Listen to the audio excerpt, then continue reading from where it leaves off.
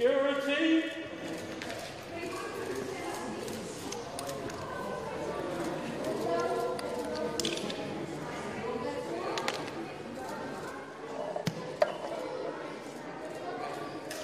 What is worth more, art or life? Is it worth more than food? Worth more than justice?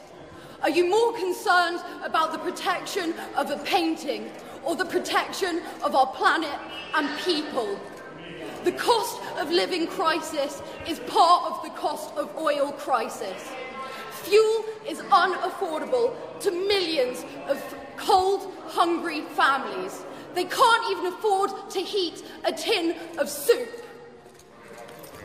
Those who are in the room, Meanwhile, please. crops are plug everyone out. failing. Millions of people are dying in monsoons, wildfires, and severe drought. We cannot afford new oil and gas. It is going to take everything we know and love. Thanks for watching our YouTube channel. Follow today's top stories and breaking news by downloading the NBC News app.